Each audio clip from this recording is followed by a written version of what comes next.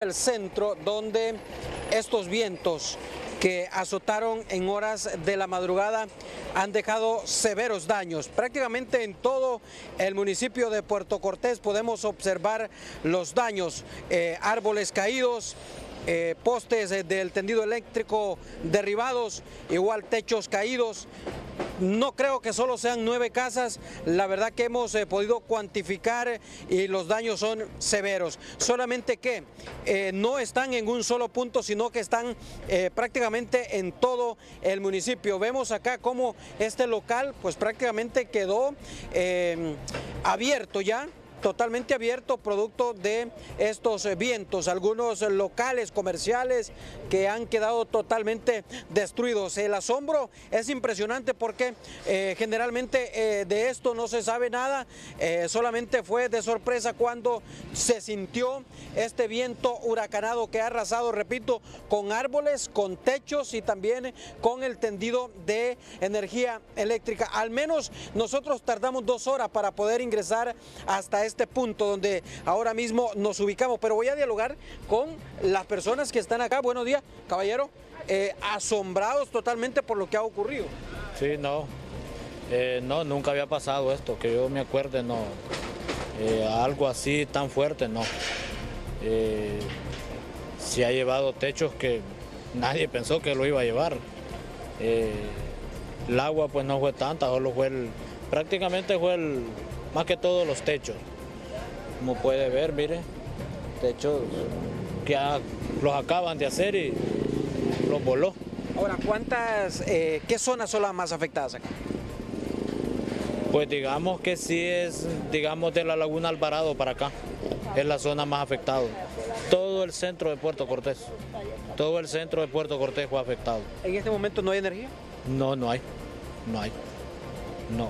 Sí, vamos a mostrarles, Pablo, porque ese es un techo eh, recién construido. Es un, es un complejo de, oficinas o de locales comerciales que pues prácticamente se llevó la parte principal, pero eh, aquí estamos solo en una parte para mostrarles todo lo que ha ocurrido. Tendríamos que eh, hacer un recorrido porque allá vemos también algunas láminas que están sostenidas en el cableado eléctrico. Señora, ¿usted no había vivido esto así? No, nunca, hasta ahora, asombrada de estas cosas que pasaron ahora. Sí. Pero primero Dios que los vamos a mejorar, la muchacha todo y paso con ellos y todo se les mojó. Bien fregado, mira, arreglar van todo y sin luz y sin nada. Es la vida, así es la naturaleza, así es, hermanito. Ni esperar, en donde yo alquilo en Campo Rojo, pues como es bajito, yo los tres cuartos y estamos en medio, no los agarró pero alrededor viera cómo botó toda luz, viera qué feo está ahí, por la regional H. Hammer, sí. ¿Cuál es su nombre? Alejandrina Calix.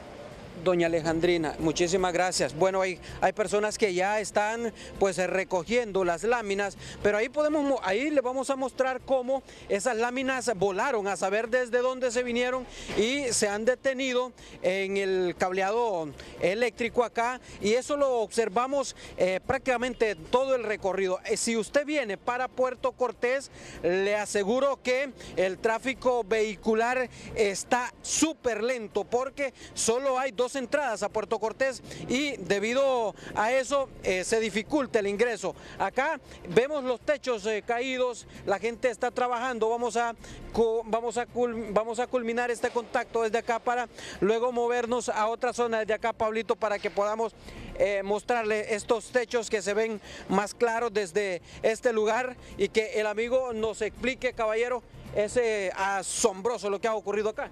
Sí, nunca visto. Nunca he visto, primera vez que mira eso aquí. estamos admirados porque nunca había sucedido algo así. ¿Esos eran apartamentos? ¿Son apartamentos, perdón? Sí, era como un hospedaje que tenían ahí, pero no, no estaba habitado ahí, estaba solo desde hace tiempo. ¿Usted estaba acá cuando se sintió esto? No, no acá, no, fue como a la una de la mañana. No, no estaba acá. ¿Sin energía eléctrica? No hay energía eléctrica, desde anoche. Bueno, terrible la, situación que ha ocurrido aquí en Puerto Cortés. Ahí les puedo mostrar eh, una parte, ¿verdad? Porque, repito, hemos hecho un recorrido en Puerto Cortés y donde quiera vemos daños. Sí, ha dañado bastante, bastantes lados. Aquí todo, para abajo, todo está dañado. Sí. Es correcto, es correcto. Sí, eh, es lo que les puedo mostrar, compañeros, a esta hora.